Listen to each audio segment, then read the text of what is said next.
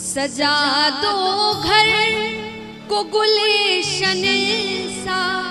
अवध मेरा आए। लगे, अभी तक तो देखिए कहाँ पर थे, टेंट बना था। लेकिन अब लगे कुटिया पितुले हनेसी।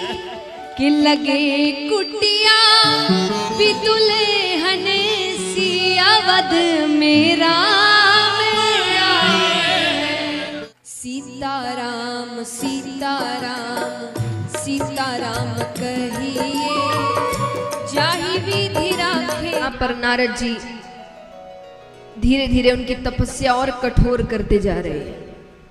अब नारद जी ने कहा, अन्न त्याग दो। ध्रुव जी ने अन्न त्याग दिया। केवल फल और जल पे रह रहे हैं।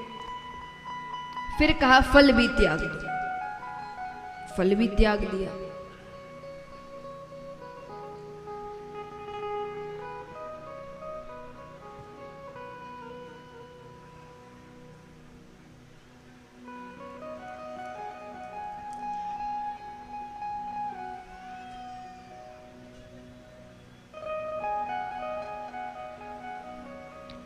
तो महाराज तो कहा फल, जल भी त्याग दो, अन्न त्याग दो, फल त्याग दो। वो बिल्कुल भूखे हैं। सिर्फ़ भगवान के नाम का जाप करते जा रहे हैं। अंत में आखिरी पड़ाव आता है। नारद जी ने कहा, इसके बाद भगवान को तुमसे मिलने आना ही पड़ेगा। क्या करना होगा नारद जी? ध्रुव जी अपनी साँसें रोक लेते हैं। और ऐसा आज तक नहीं हुआ कि भक्ति करते करते किसी की मृत्यु हो जाए। देवी देवता भगवान के पास जाते हैं कि प्रभु, अब उस बच्चे की और परीक्षा ना ले अब उसे दर्शन दे दीजिए। तब वहाँ पर साक्षात परम पिता परमेश्वर भगवान विष्णु विराट रूप में ध्रुव जी के सामने आते बोलिए, लक्ष्मी नारायण भगवान! अब ध्रुव जी तो नेत्र बंद कर कर खड़े हैं। भगवान उनसे कहते, अरे पुत्र, उठो, देखो मैं आ गया। ध्रुव जी कहते, आप कौन? उन्होंने थोड़ी भगवान को देखा था। वो कहते, आप कौन? अरे भगवान कहते, मैं वासुदेव, जिसकी तुम तपस्या कर रहे हो। ध्रुव जी प्रसन्न होकर भगवान को गले से लगा लेते। भगवान कहते, कहो क्या पूछना है? क्यों बुलाया मुझे?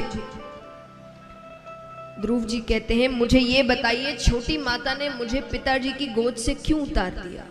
पिताजी, अब मेरी माता के पास क्यों नहीं आते?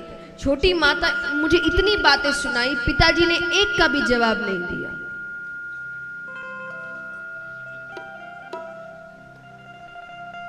पिताजी ने एक का भी जवाब नहीं दिया। भगवान कहते, अरे अरे अरे इतने सारे प्रश्न एक साथ।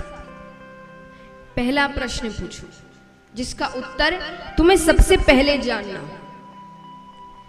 ध्रुव जी कहते हैं, छोटी माता ने मुझे पिताजी की गोद से क्यों उतार दिया?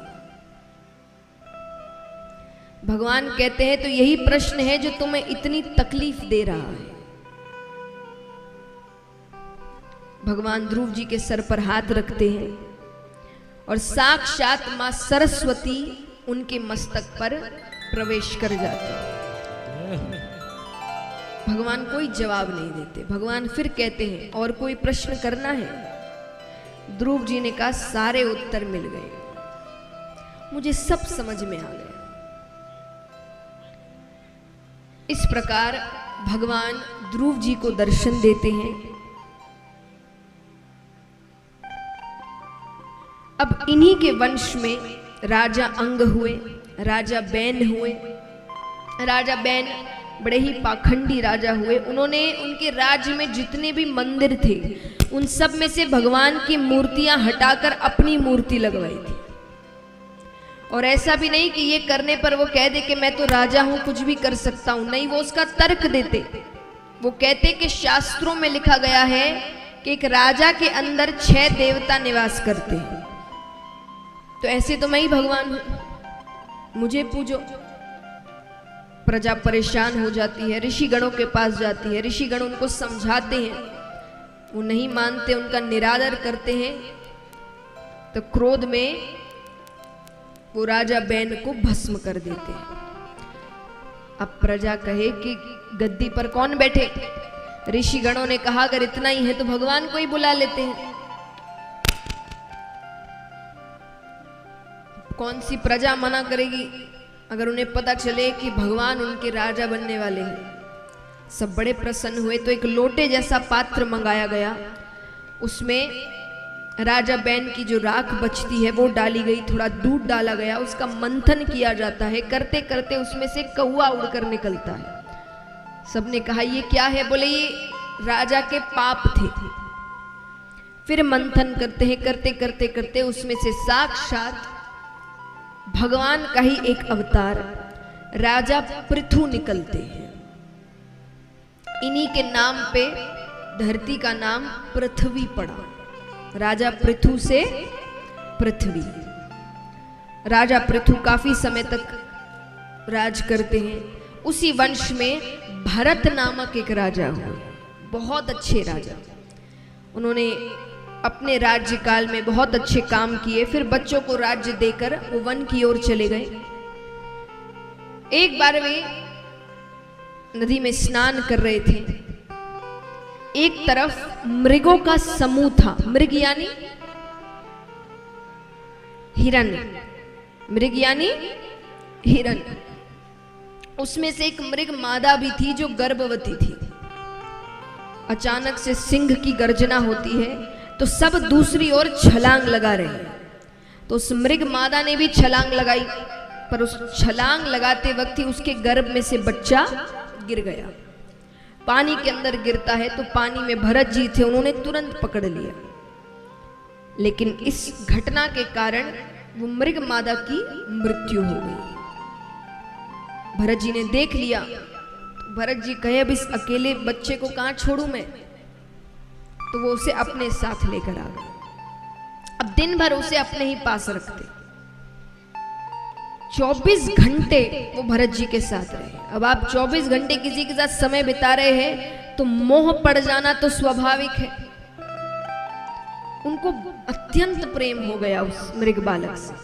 अब वो हर वक्त मृग बालक को अपने साथ रखते। सोए तो मृग बालक के साथ, उठे तो मृग बालक के साथ, स्नान करे तो मृग बालक के साथ पूजा करे तो मृग बालक के साथ, भोजन करे तो मृग बालक के साथ। दिन भर उसी के साथ रहते। एक दिन वो पूजा की तैयारी कर रहे थे। मृग बालक कुटिया के बाहर खेल रहा था। उन्होंने सोचा, पहले तैयारी कर लूँ, फिर उसे अंदर ले आऊँगा। फिर साथ बैठकर पूजा करेंगे।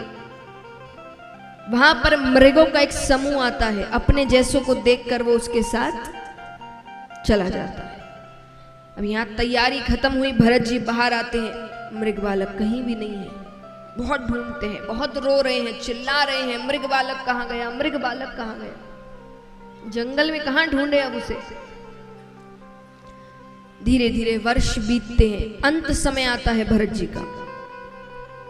अंत समय में भी उनके मुख में केवल एक ही नाम, मेरा मृग बालक गया कहते हैं, अंत समय में आप जिसका नाम ले, आपको वही योनि प्राप्त होती है। इसीलिए ज़्यादातर कहा जाता है, भगवान का नाम लो कि जन्म मृत्यु के चक्कर से ही छुटकारा मिल जाए। उन्होंने मृग का नाम लिया तो दूसरी योनि उन्हें मृग योनि प्राप्त हुई। पर क्योंकि अपने राज्य काल में उन्होंने बहुत पुण्य किए थे तो उनको सब कुछ याद था। तो मृग योनि में वो सही समय पर उठते, स्नान करते, भगवान का नाम जप करते तो दूसरा जन्म उन्हें मनुष्य जन्म मिला।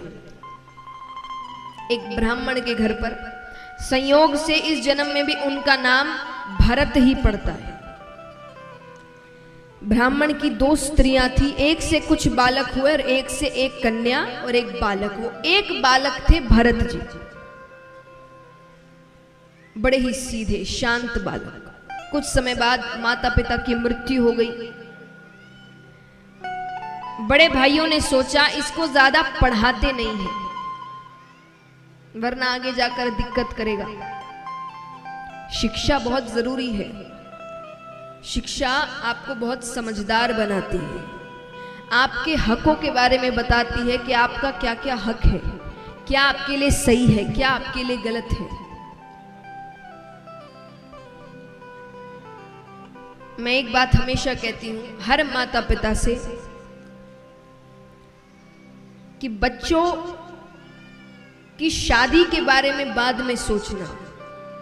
पहले उनको अपने पैरों पर खड़ा करिए। खास करके बेटियाँ। क्योंकि एक बेटी किसी और के घर में अन्याय तभी सहेगी जब उसे पता है कि वो खुद के पैरों पर खड़ी नहीं है। वो किसी ना किसी पर निर्भर है।